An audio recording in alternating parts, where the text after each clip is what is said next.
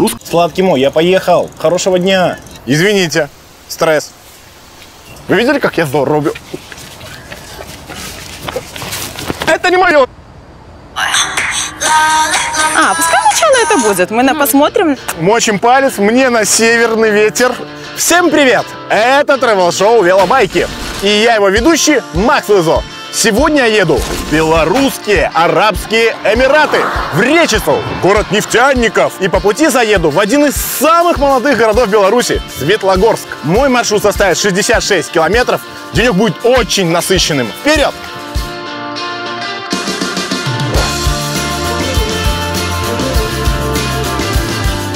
Сегодня я изучу сразу два белорусских города – Речицу и Светлогорск. Посмотрю, чем живут белорусские нефтяники и энергетики. Побываю на острове и дам вам несколько полезных советов, как собрать рюкзак в путешествие.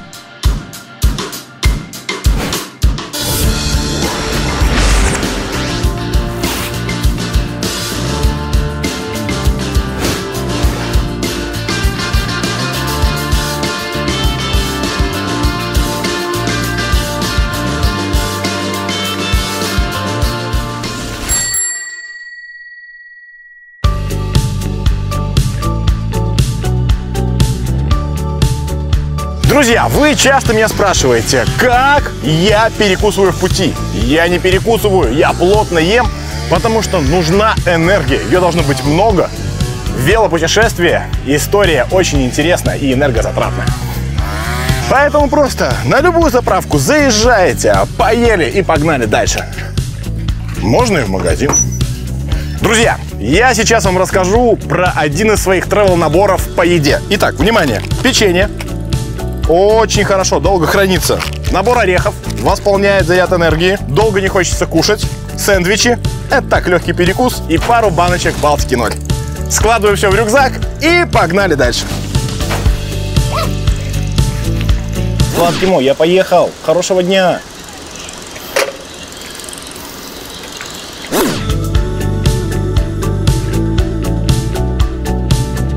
Речица – один из старейших городов Беларуси. Как и во многих белорусских городах, центральная улица Советская. Если вы любите фонтаны, обязательно прогуляйтесь по этой улице. Здесь находится одна из достопримечательностей города – светомузыкальный фонтан. Вечером здесь можно увидеть 13 водных картин, каждая из которых меняется в зависимости от выбранной музыкальной композиции.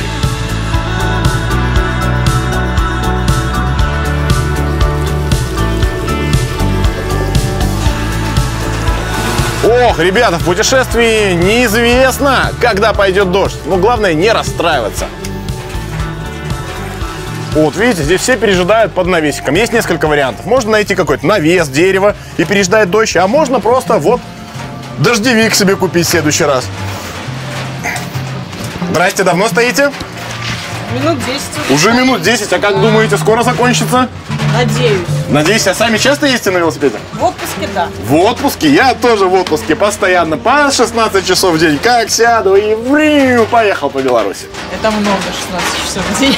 Какой совет мне дадите? Мне попробовать поехать все-таки? Может быть, закончится быстро или переждать дождик? Под дождиком. Тепло можно и под дождиком подмать. Кстати, да, мне кажется, это грибной. Больше вырасту. Очень похоже. Кстати, а вы скажите, вы из Речицы? Нет, А откуда? из Минска. А как вас сюда занесло? Какими судьбами? Велосипед и меня велосипед. я- Мы не Велосипед. 16 часов. Два часа Объединяет. проехали, отдохнули. Два часа проехали, отдохнули. И сколько весь маршрут занял от у вас а, до сюда по времени? Сутки? А вы одна путешествуете или командой? Команда дома осталась. Команда вас в этот раз И дождика подвела. испугались грибного. А вы не практикуете комбинированное автопутешествие? Это когда вы сначала едете немного на машине, а потом уже по самым живописным местам на У велосипеде. меня комбинированная заключается машина и сзади велосипед фиксирован. Ну, тоже круто. А потом уже, когда доезжаете на локацию, там уже Потом все. уже, да. Отлично. Присаживаемся на двухколесную лодочку. А если вы вдруг ищете новый или БУ автомобиль Атлант М, atlantm.by. А как вы выбираете направление для путешествия? Просто на карте пальцем пусть и в речицу? Или, или какие-то критерии? Что-то посмотреть хотите? Нет, в Речице здесь э, дедушка с бабушкой жили, поэтому сюда приехали вот. Класс. Ну что ж, тогда подождем еще немного. Может быть, сейчас распогодится и отправимся дальше. Вроде бы заканчивается. Может, точно маленький? Маленький дождь. Можно Подожди. уже и выезжать. Да, кстати, это такой выезд на удачу. Нужно рисковать. Согласна. Поехали. Поехали. Оп-оп-оп. Мочим палец. Мне на северный ветер. Это туда. До свидания, хорошего дня.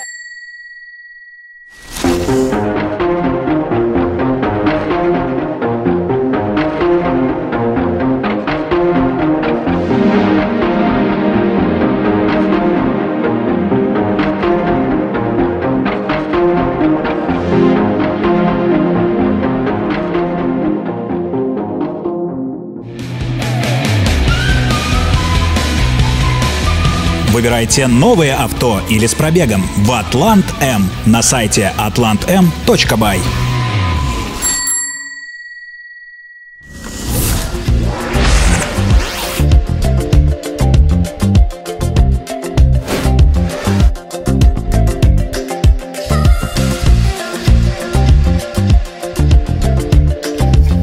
Амфитеатр в Речице – одно из самых современных сооружений. За сезон здесь проходит более 50 концертов. Я пока отдохну здесь, а компанию мне составит наш сегодняшний гость. Блогер Валерия. Валерия, рад приветствовать. Привет, привет. Привет, Максим. Я знаю, что ты сама из Гомеля. Да. Скажи, пожалуйста, а как ты оказалась в Речице? Ну, я, как и ты, люблю путешествовать по Беларуси. Поэтому сейчас пообщаемся с тобой, потом встретимся со своими друзьями и даже, возможно, подписчиками. Круто. Из Скажи, Речицы. пожалуйста, а как ты вообще добиралась? Я лично на велосипеде. А я на машине. А ты часто на Каюсь. велосипеде ездишь? Не часто, но хотелось бы чаще. Круто. Скажи, пожалуйста, мы сейчас находимся в таком знаковом месте для речи, Очень творческом. Ты занимаешься блогингом. Расскажи поподробнее про свой блог. Ой, я инстаграм-блогер. Так. У меня уже более 60 тысяч подписчиков. Все белорусы, все активные, все самые лучшие мои подписчики, однозначно. Сто процентов. Да, рассказываю о себе, о своей жизни и, конечно, даю порцию полезности, потому что блогер все-таки должен нести полезность Это в люди. сто- это сто процентов. Конечно. Валерий, я посмотрел твой инстаграм. Ты экономист, юрист, специалист по молодежной политике, любящая мама, жена, еще и блогер. Сейчас все хотят стать блогерами. Скажи мне, пожалуйста, трудно жить с телефоном 24 на 7? Но с одной стороны, это уже становится образом жизни, ты уже по-другому не можешь. Но с другой стороны, это тяжелая работа, потому что это круглосуточная работа, я даже больше скажу. Поэтому, чтобы не выгорать, мы своими коллегами-блогерами делаем выходные. Так. Вот без этого никак. Это Потому как, что- когда питаешься правильно, сик-дэй такой. Да, потому что блогинг – это настоящая профессия уже сейчас, э, которая требует работы не меньше, как другие специальности, а может быть где-то и больше. Слушай, я знаю, что у тебя очень классные тиктоки, отлично залетают. Может быть, попробуем с тобой какой-то снять тикток? Конечно, я там подобрала пару трендов, поэтому идем? Тогда предлагаю сразу и приступить. Велобайки, Валерия и ТикТок. Прямо сейчас, специально для вас. Чтобы парапет не входил, мы вот идем оттуда и уходим с кадра вот сюда. Вот так вот. А, пускай сначала это будет. Мы на, посмотрим на вас. Ну что, Максим, смотри, я уже Так. загрузила в ТикТок. Классно получилось, Это да? просто невероятный синхрон. Ну все, ждем миллионы просмотров, Миллион получается. просмотров. Так, это за сколько? Примерно за полдня получится у нас? Да, быстрее. Быстрее. Вот теперь я точно понял, зачем ты приехала в Речицу. Все, я поехал дальше. У меня Да, еще очень много точек. Пока. Удачи, счастливого пути. Вы видели, как я здорово Это не мое.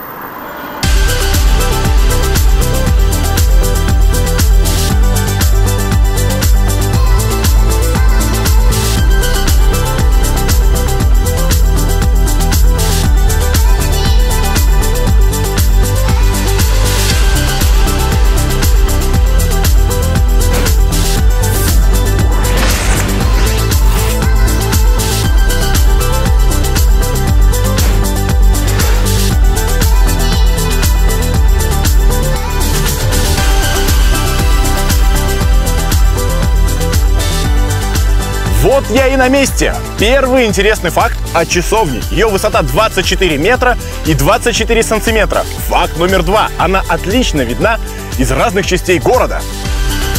Часовня Святой Ефросини Полоцкой – одна из главных достопримечательностей города. Именно в этом месте в 1910 году остановились пароходы, которые везли мощи преподобной Ефросини Полоцкой из Киева в Полоцк. На этом месте был установлен деревянный крест, а после построили часовню. Ну я нечаянно упал, у нас же есть штани, переживаешь. Ай, тут еще крапива. Ай, ай. Я, блин, обжег всю спину крапивой. А я не могу ни в крапиву. Я думал, нормально будет. Делать, дел, нормально думал, делаю, нормально будет, не вышло. Как видите, я полон знаний. Кстати, ловите еще одну полезную информацию. Если вы ищете автомобиль с пробегом, зайдите на atlantm.by. Это мой личный рекомендацион.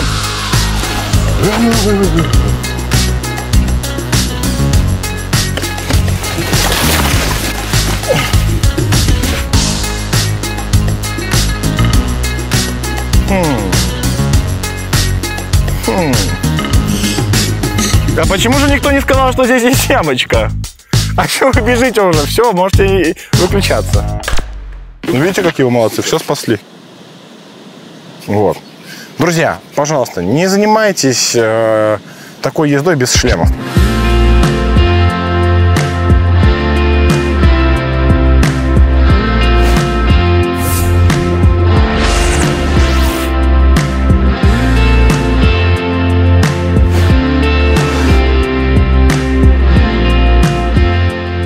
А сейчас я еду в самый центр Речицы, в картинную галерею.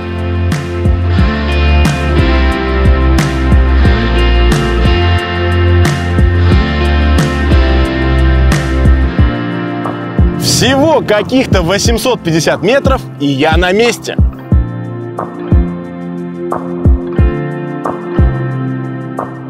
Картинная галерея в мой маршрут попала не случайно. В Речице очень интересуются живописью.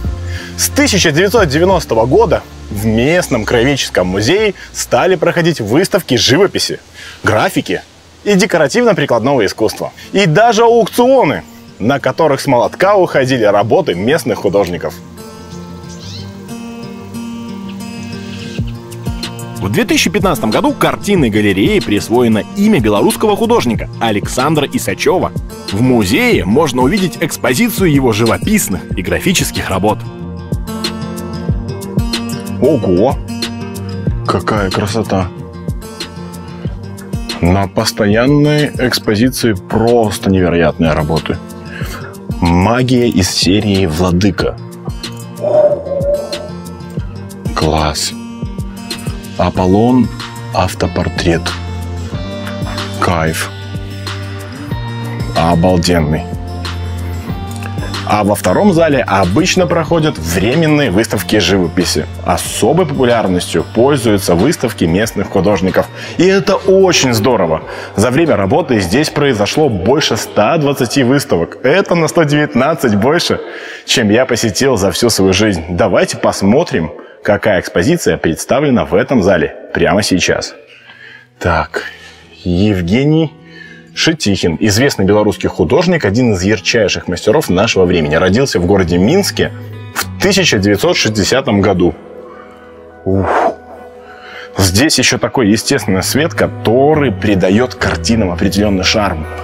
Очень красиво. Работы огромные просто. Очарование юностью нарисованная картина маслом, написанная в 2020 году. Класс. И объемные картины вот такие, посмотрите, какие. Ай-яй-яй-яй. Кайф. 21 век. Картина 22 года. Полюбуйтесь, знаете какие-то образы? Класс. Данное место настоятельно рекомендую для посещения. Ну а мне пора отправляться дальше. Меня еще ждет много точек моего маршрута.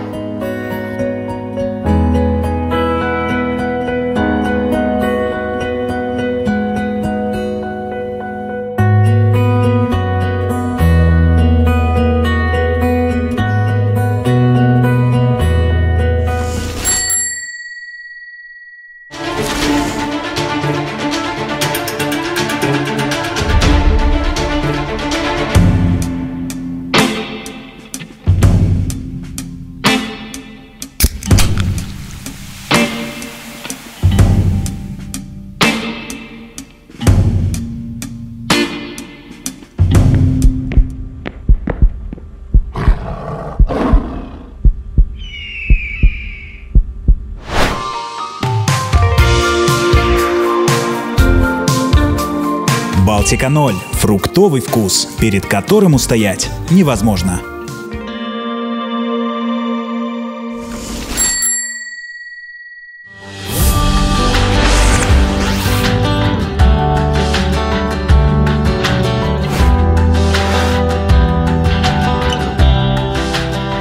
Шатилинский остров впервые упоминается в 1560 году. Местоположение укрепленной усадьбы позволяло контролировать все торговые и транспортные потоки, проходившие по березине. Также здесь проходили торговые пути, и в усадьбе часто ночевали купцы. И вот он, Шатилинский остров. Вполне возможно, единственный остров, на который я попаду в этом году. Очень интересно узнать про это место, а поможет мне в этом директор историко-краеведческого музея Ирина Заяц. Ирина, добрый день. Добрый день. Столько у вас всего интересного на Светлогорске. Рассказывайте все-все-все. В первую очередь про остров. Ну, Шатилинский остров – место историческое Так. и очень интересное. Мы знаем историю своего города и знаем, что в 1560 году вышел привилей грамота на владение землей, в котором говорилось, что после смерти владельца Романа Шатила остров передается на реке, на горе, на тракте Горвальском другому владельцу Ждану Манкевичу. Так. И вот с этого времени мы считаем летоисчисление нашей местности, нашего Светлогорска, хотя Светлогорск молодой город, Да, но это же самый имеет... молодой город Беларуси Ну да, считается. самый молодой город Све- Светлогорск Беларуси, но он имеет интереснейшую и древнюю, скажем так, историю. Шатилинский остров, мы о нем не знали, о его существовании очень долгое время. Но благодаря 2000 раскопкам, которые здесь проходили под руководством профессора Сергея Евгеньевича Рассадина, мы выявили предметы, которые подтверждали историческое существование на нашей местности, вот здесь на нашей земле Светлогорской, Шатилинской земле, участочка небольшого земли, где когда-то жили люди. Это 16-18 век. И если мы с вами пройдем чуть Так, дальше, мы давайте, конечно, увидим возвышенность. Обратим внимание, что она чуть такая возвышается над уровнем нашей земли, 5 метров где-то так. И увидим какое-то такое обособленное место. Ну, естественно, река Березина нам поменяла течение и русло. Но в то время, по описаниям, по историческим данным, это был действительно своеобразный форт-пост, как бы, да, и обладал он э, несколькими функциями. Это была и жизнь обычная, Так. и, скажем так, здесь э, своеобразный, как военный пост, да, как вот форт-пост. Поэтому, когда провели уже раскопки и взяли образцы материалов для исследования, обнаружили очень интересные, красивые, уникальные археологические предметы. Среди находок, а их очень много, там было... Так, самые интересные, скажите, А, артефакты, которые были найдены. Ну вот самые интересные артефакты. А, такая серьга, очень интересная, каплеобразная она. И, как оказалось, после изучения исследовали историки, очень, так скажем, популярное украшение улиц мужского пола в Испании. да. Король Стюарт на картине Ван Гога вот на С такой же серьгой? Да, такой же Класс. серьгой. Вы можете посмотреть. Она каплеобразной формы. Это говорит о том, что люди здесь жили действительно не бедные, которые Да. могли себе позволить э, иметь Такие украшения, дор- украшения. дорогие.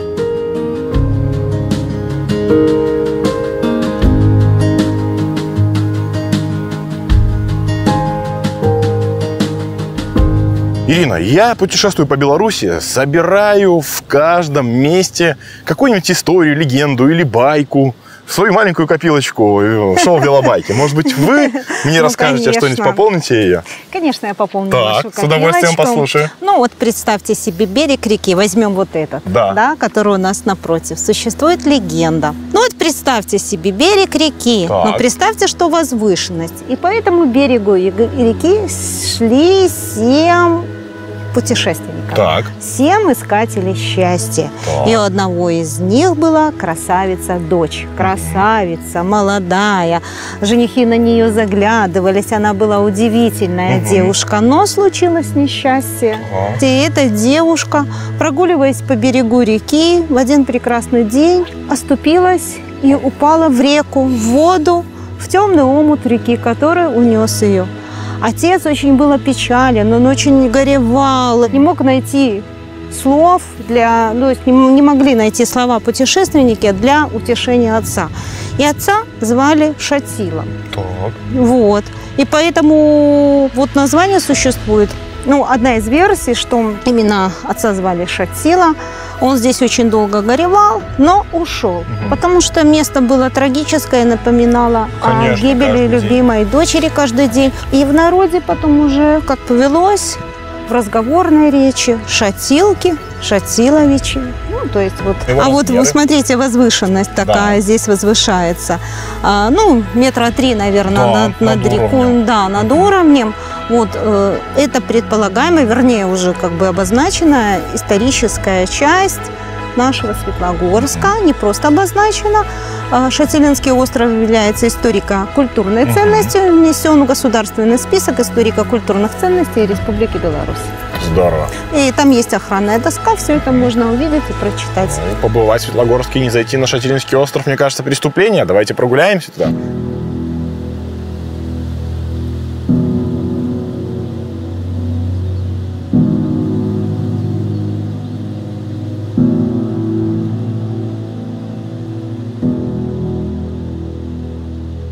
Ирина, а расскажите, пожалуйста, а что вообще сейчас находится на Шатилинском острове? Ну, сейчас здесь ничего нет. Это местность, ну вот, растительность, Так. природа. Так. Ну, здесь как бы ничего пока в настоящее время здесь нет. А может что-то планируется построить? Не знаете? Ну, планы, конечно, есть, но я все знаю. планы раскрывать как-то, наверное, неправильно, потому что, Конечно. может быть, я не знаю чего-то еще, скажем так. Конечно, здесь можно сделать реконструкцию Шатилинского острова. Вполне это реально, но только для того, чтобы это сделать, это нужны средства, возможно, спонсорские, да. И это место было бы достаточно посещаемым.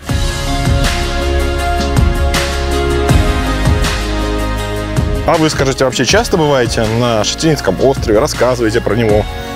Оно Ну, излюблено для туристов. Ну, скажем так, оно специфическое Да, место это для место. а, индивидуального, скажем, посетителя. И здесь я бываю, когда есть запрос. Вот мы проводим экскурсию в музее, и у людей возникает вопрос посмотреть. Ну, мы объясняем, как найти, во-первых. А если у нас у нашего посетителя есть момент, когда он, ну, действительно не может найти, или там, ну, тогда мы сопровождаем и показываем это место. Здорово.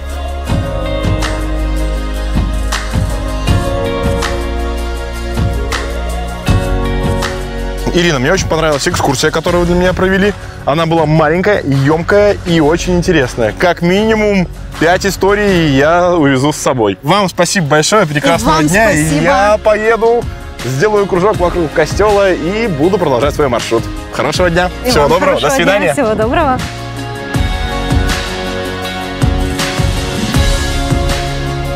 Крестово-Сдвиженский костел в Светлогорске расположен на берегу Березины. Первое упоминание католического храма на территории этого населенного пункта, который тогда назывался Шатилки, относится к середине 17 века. За несколько веков он был не единожды разрушен и восстановлен. В 1939 году его уничтожили окончательно. Современное здание из красного кирпича появилось в 1997 году. Это образец неоготики с элементами романского стиля. Главное украшение фасада и наиболее заметный архитектурный элемент – две высокие башни с шатровыми крышами.